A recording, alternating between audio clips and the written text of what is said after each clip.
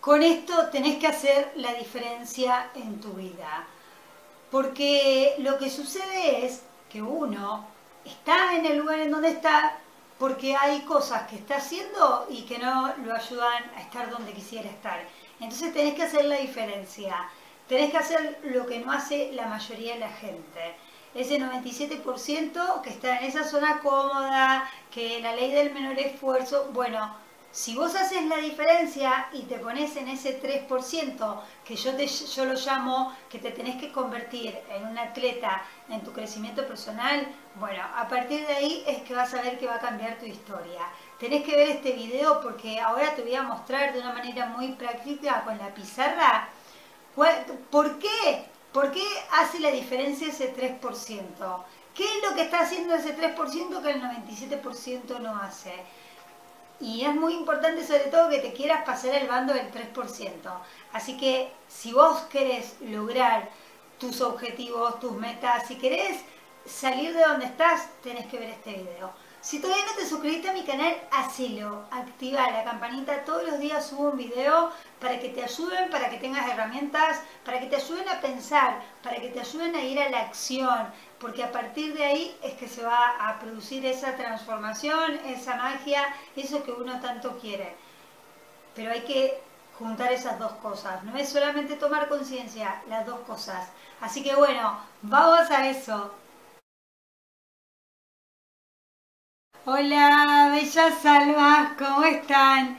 Bueno, acá estoy con mi amiga la pizarra que tanto me gusta, eh, porque bueno, nos ayuda muchísimo, aprendemos muchísimo observando. Y sobre todo cuando en este caso te voy a hacer eh, la diferencia, te voy a hacer notar la diferencia de por qué es tan importante eh, en esto que yo le digo a mis consultantes que se tiene que convertir en atleta, porque bueno, yo vengo del alto rendimiento, y el atleta, o sea, tiene ciertas características que eso hace que se conviertan en esas almas de superación total, porque gracias a eso pueden lograr todo lo que se proponen. Eh, hay una cierta eh, características que cumplen los atletas y bueno, por eso yo digo, copiale, o sea, hacer lo que hace un atleta y vas a ver que tu vida se va a empezar a transformar.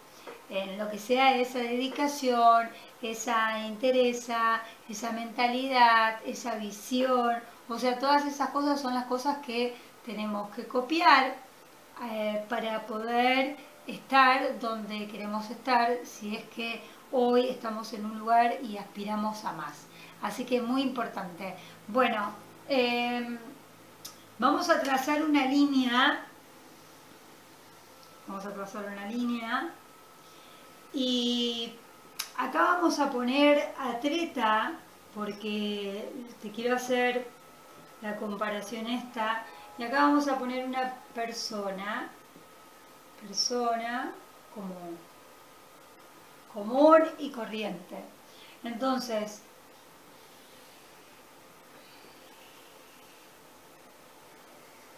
yo siempre digo el 97% de la gente vive de una manera infeliz, eh, que, bueno, que no sé, que hace lo que no le gusta, que no se siente a gusto, que está siempre enojada, que bueno, eh, que está en una vibración súper baja.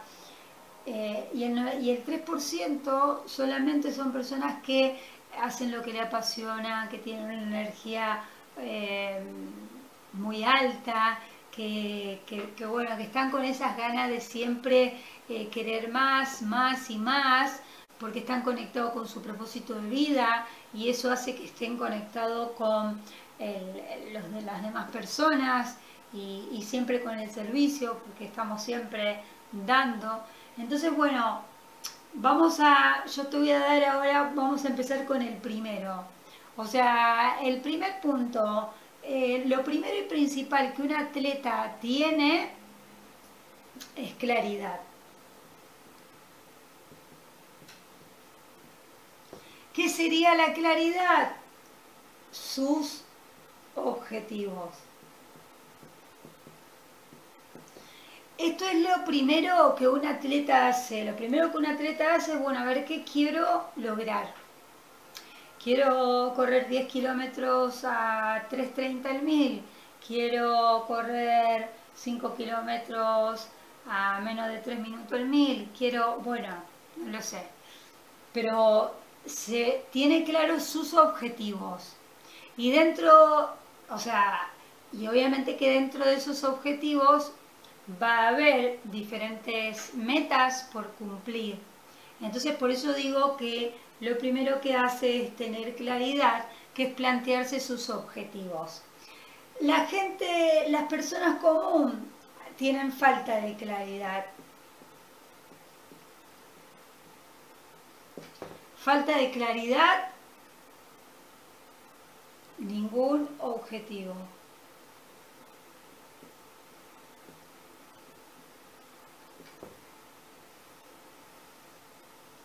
Entonces, ¿qué pasa? Cuando hay falta de claridad y cuando no hay ningún objetivo, y vos no, o sea, no tenés trazado el camino. El atleta dice, bueno, yo quiero esto, quiero esto, quiero esto, quiero esto, listo. Entonces traza el camino. El camino serían los entrenamientos. Ve qué entrenamiento tiene que hacer, le planifican. Bueno, ahora si vos no tenés claridad, o sea, hace cuenta que no sabes para dónde ir, ¿qué hago? Voy para allá, voy para allá, ay, no sé cuál ruta tomar. Y, ay, pero mira, hay cinco, ¿para dónde voy? Voy para allá, voy para allá, voy para... Bueno, falta de claridad. ¿Cuál es eh, lo segundo que un atleta tiene, eh, que, que, bueno, que también hace esa diferencia? Gracias a que tiene claridad y que tiene bien claro lo que quiere, a partir de ahí es que tiene una planificación Si el atleta dice, bueno, quiero correr eh, de acá a dos años a tal y tal, bueno, listo, de acá a dos años, no sé, el entrenador le dice, bueno, una vez por mes tenés que competir, entonces en este mes vamos a ir a esta competencia, este mes vamos a ir a esta, en este mes vamos a ir a esta, en este mes, hasta llegar a, la fecha que se propuso y, con una competencia ver, lograr ese, ese objetivo, esa meta que si no la logra, después corrige o ve dónde estuvo el error o cómo puede hacer para, bueno, para seguir dándole más duro y para buscar a lo mejor cambiar la forma, el método, lo que sea. ¿Qué pasa? las personas comunes no se planifican. Las personas comunes se levantan, van al trabajo, si, son dueños de su negocio son muy pocos, lo que tienen eh, como una ruta es decir, bueno, listo, a ver, eh, claro, como no se plantean el objetivo, claramente que van a planificar, si no saben para dónde van, no saben en qué quieren mejorar, no, entonces, claro, bueno, se levantan, van al negocio, abren, pero queda todo ahí. Y si uno tiene ese hambre de superación y si uno quiere lograr cosas en su vida, buscar ser cada día mejor, para poder ayudar al otro, para poder mm, eh, crecer en mi negocio, para poder crecer en mi adentro, bueno, si yo quiero aspirar eso, me tengo que planificar, porque si yo no me planifico y no tengo un orden, la planificación es un orden. Bueno, hoy hago esto, mañana hago esto, pasado hago esto, y por eso el atleta va mejorando las marcas, por más que no llegue a donde quiere llegar, va mejorando las marcas. ¿Por qué? Porque tiene un orden.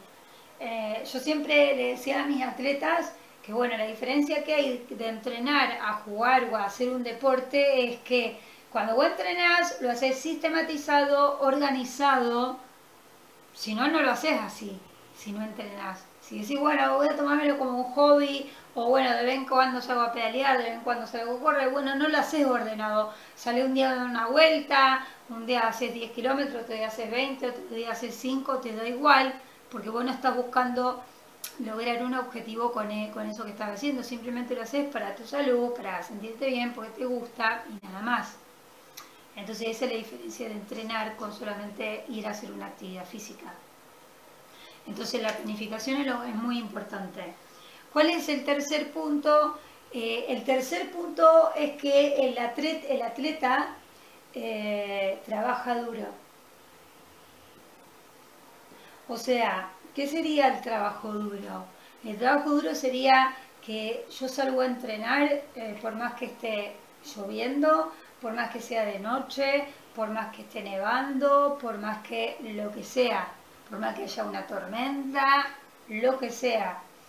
¿Qué pasa? Las personas comunes no quieren hacer sacrificios, no quieren, no quieren trabajar duro, quieren hacer lo mínimo indispensable, ley de menor esfuerzo, mínimo.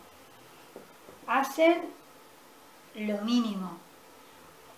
O sea, siempre, claro, entendiendo esto de que muchas veces uno no va para donde quiere ir y bueno, cuando vos no estás conectado, cuando vos no empezás a trabajar en tu adentro, es más que obvio que vas a tener un dolor adentro y eso es lo que te enoja, eso es lo que hace que trate mal a la gente, eso, entonces claro, por eso te va a costar mucho conectarte con este trabajo duro, pero trabajar duro no, no tiene que ver con que no te guste lo que estás haciendo, o sea, porque el atleta le gusta lo que hace y sabe que trabajando duro va a poder llegar a la meta, el sueño, al anhelo que, que quiere. Entonces, si vos, si uno proyecta y ama lo que hace, vas a estar dispuesto a pagar ese precio, decir, bueno, no importa, yo hago lo que sea, pero yo lo voy a hacer. ¿Por qué? Porque, porque bueno, porque es lo que a vos te apasiona, pero en este caso pasa lo contrario, porque muchas veces la mayoría no hace lo que le gusta.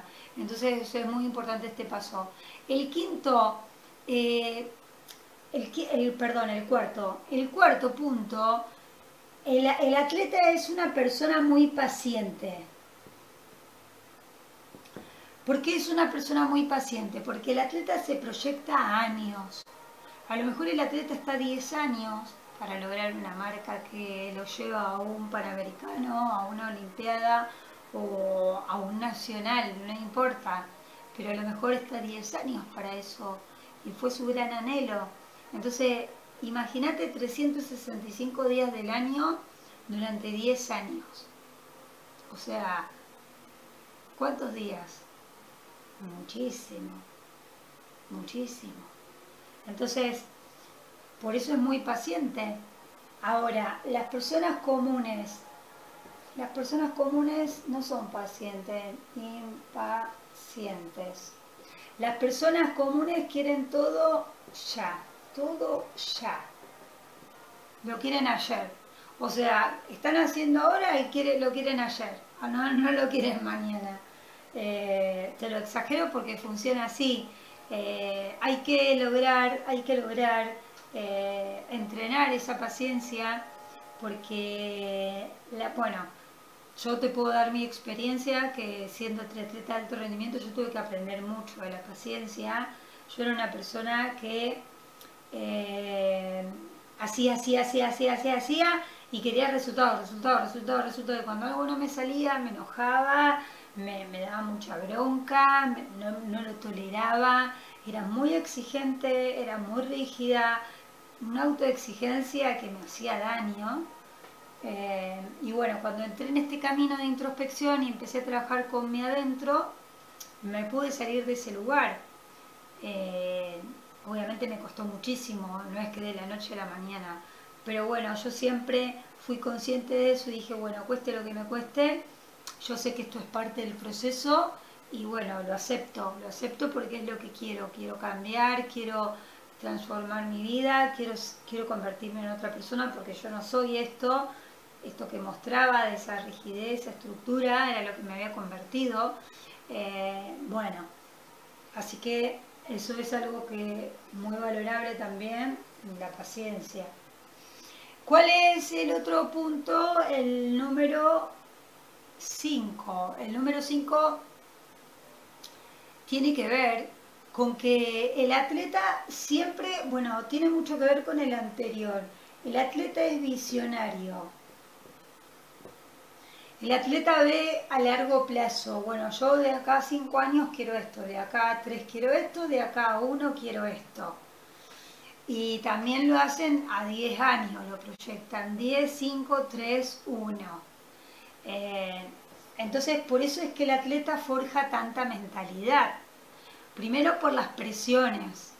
porque si uno, cuando uno va a una competencia y cuando uno está teniendo, no sé, en mi caso, que yo era triatleta, yo del agua salía más o menos a la mitad, pero en la bicicleta también me mantenía, pero corriendo era que yo pasaba, pasaba, pasaba, pasaba y terminaba segunda, primera, tercera. Entonces yo tenía mucha mentalidad en ese aspecto porque veía siempre todas las chicas que estaban delante mío. Entonces yo decía, bueno, ahora voy a hacer un pique y voy a pasar a la que está acá a 500 metros. Entonces hacía un esfuerzo inhumano, la pasaba y claro, cuando alguien te pasa, el, atleta que es pasado, se baja mucho anímicamente. Tenés que tener mucha mentalidad para poder eh, retrucar eso que te están pasando, porque se desmoraliza mucho entonces, claro, yo jugaba mucho con eso, entonces le, la abrazaba y hacía mucho esfuerzo para, para adelantarme y después me recuperaba y veía otra y decía, bueno, listo, ahora volví a hacer lo mismo y así, por eso pasaba, pasaba, pasaba, pasaba. Entonces, es muy importante la visión, es muy importante ver a lo cerca, pero también ver a lo de lejos, a lo lejos, ¿no? A lo que quiero, que está lejos, pero no importa, lo quiero. Entonces, trabajando voy a llegar primero al que está antes y después voy a llegar al otro. ¿Qué pasa con las personas em, comunes? Bueno, no, no proyectan. No proyectan esa visión. O sea, viven el momento, em, no, generan esa ilusión que es tan importante para que uno pueda eh, ir siempre por más. Em, entonces, esto, esto te impulsa un montón y esto no, no, te da ganas, no te da ese entusiasmo que uno tiene cuando uno tiene una proyección y dice, sí, sí, sí, yo quiero eso, lo voy a lograr, lo voy a lograr, y, y no te importa nada más que eso y todos los días pensás en eso. Bueno, que es el paso que viene ahora. El sexto, o sea, el atleta todos, todos los días piensa en su, en su anhelo. Lo que quiere, su anhelo en alma, su sueño, ya todos los días piensa en eso, desde que se levanta hasta que se va a dormir, todos los días, todos los días, todos los días con ese entusiasmo, se visualiza logrando eso. Bueno, ¿qué pasa con las personas comunes? Bueno, las personas comunes no tienen sueños, no sueñan. Soñar es muy importante. Soñar es muy importante y también obviamente es muy importante ir a la acción, no solamente que sea un sueño. O sea, el sueño es el anhelo, eso sí, yo quiero conseguir esto y, y hago acciones, hago acciones, hago acciones para que en algún momento eso llegue a mi vida. Y si yo hago acciones, en algún momento eso va a llegar. Por eso hay que tener mucha persistencia, mucha dedicación y mucha constancia. Eso es lo que tiene el atleta. Por eso yo digo, convertirte en eso y vas a ver que todo va a llegar a tu vida. Vamos con el punto número 7. El punto número 7, el atleta aprende de los errores. El atleta no, no se queda con que algo no le salió. El atleta cuando hay algo que no le salió le dice, bueno, a ver, al entrenador, ¿qué pasó acá que no salieron las cosas como yo quería? ¿Cuál es tu mirada? Entonces el entrenador le dice, y fíjate, mira, acá eh, hiciste esto, hiciste lo otro, acá, bueno, esto lo tenemos que corregir. ¿De qué forma lo vamos a corregir? Bueno, vamos vamos a cambiar los entrenamientos. Entonces, bueno, se ponen de acuerdo. Ahora, acá, la persona común, cuando comete un error, ¿qué hace? Se castiga, se castiga, dice que no sirve para nada, de que no te lo puedo creer, no me salió, bueno, no, no, esto no es para mí. la diferencia que existe es que acá, o sea, me hace acordar a todos los exitosos que dicen que fallar es parte del proceso y que no importa cuánto falles, que lo que más importa es que te levantes rápido y que sigas adelante. Entonces, ¿qué pasa? La persona que se cae y no se levanta porque dice, no, no, no, yo para esto no sirvo, y, tira la toalla, bueno, es que ahí te vas a quedar siempre en el mismo lugar, no vas a crecer. En cambio, si vos decís acá, bueno, fallé, pero no importa, a ver cómo voy a hacer para, para mejorar esto? Busca la forma. Si no busca la forma, la creás. Si no, te la inventás, pero algo vas a hacer para poder subir un paso más para arriba. Entonces, ten en cuenta esto porque esto es lo que hace la diferencia. Esto es muy importante. Muy importante es que aprendas de los errores, porque es la única forma de aprender, no hay otra. Muy importante este punto del 7, acordate. Vamos al 8, al 8 que es el último. El, el octavo es el más importante de todos. El atleta hace, hace por más que no tenga ganas. El atleta se le entrenar siempre, con ganas, sin ganas. ¿Por qué? Porque lo único que piensa es en el objetivo, en las metas por lograr. Es lo único que piensa. ¿Qué pasa acá con la gente común? La gente común siempre quiere procrastinar. No, mejor lo hago mañana. Bueno, no, no, mira, uy, fíjate, el día está feo. Bueno, no, no. Empiezo mañana. Salgo mañana a correr. Está por llover, ¿no? Ya veo que hay una tormenta. O lo que fuera, ¿no es cierto? Pero siempre con una excusa. Bueno, no, no, no. Uy, lo que pasa es que tengo que hacer tantas cosas esta semana. No, no, lo dejo para la semana que viene. La semana que viene me comunico con vos y te aviso. Después no pasa nunca.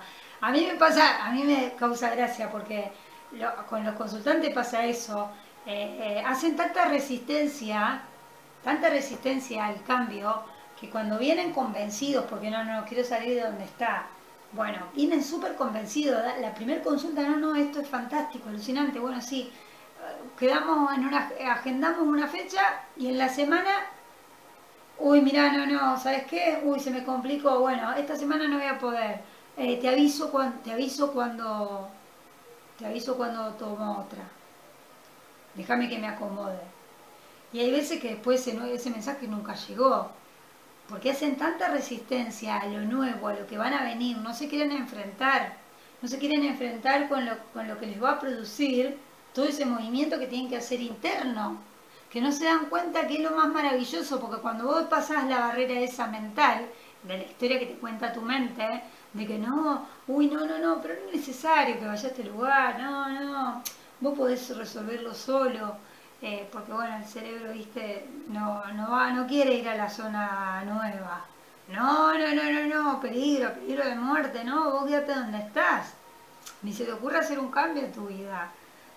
Eh, entonces, bueno, es muy importante que vos, por más que no tenga gana, y si te viene ese miedo interno o eso de que, bueno, no, no, no sé si es tan necesario hacer esto, no le, no, por favor no escuches a tu mente.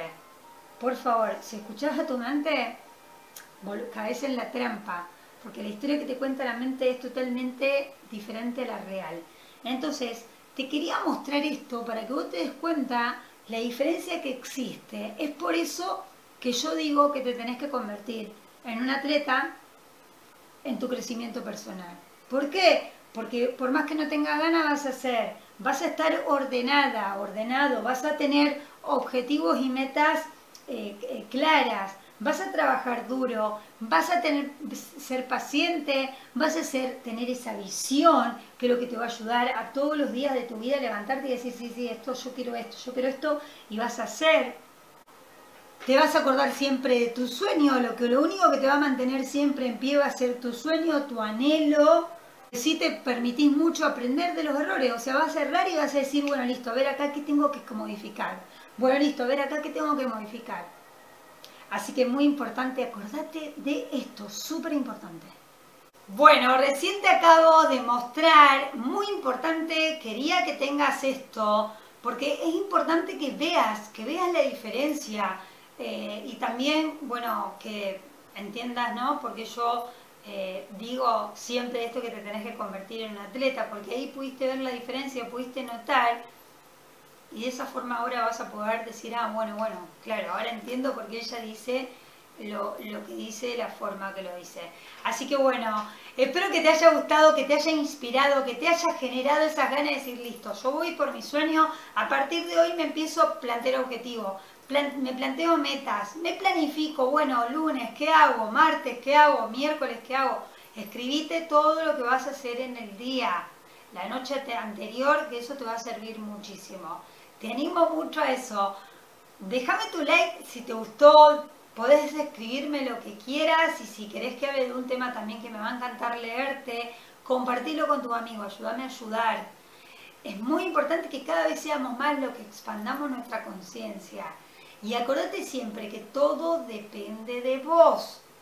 Nadie más. La responsabilidad es 100% tuya de los resultados que vos tenés en tu vida. Así que bueno, anda por eso con todo, a no parar, a no aflojar, para lograr lo que quieras, lo que quieras, pero acá hay que ponerse en acción. Si querés ir más profundo conmigo, si querés hacer un trabajo de introspección, yo voy a estar encantadísima. Me encontrás en anabel.valentini, escribime y empezamos cuando vos quieras. Así que te animo a eso. Nos vemos en el próximo video. Chau, chau.